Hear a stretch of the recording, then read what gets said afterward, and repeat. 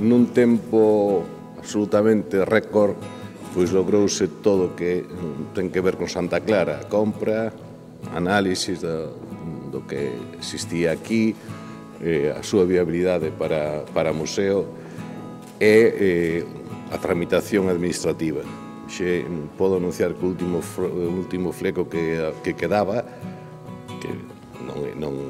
vamos, non interfería neste, nesta entrega que era a inscripción no registro a nome do Concello xa está feita desde onte.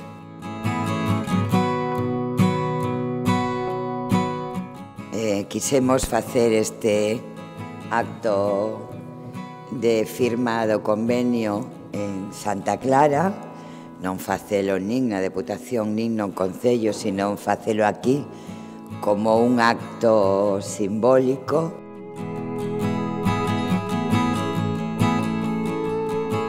Eu creo que o titular que hoxe debo dar é que é un día trascendental para o Museo de Pontevedra,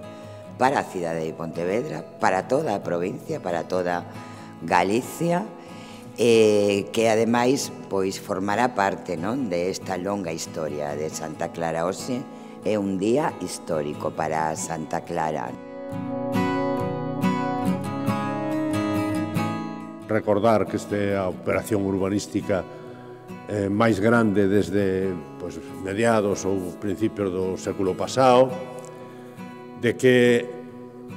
vai ser un investimento importantísimo nesta cidade eh, respecto á actividade cultural. Teño que decir, porque así o creo, que Santa Clara queda nas millores mans posibles.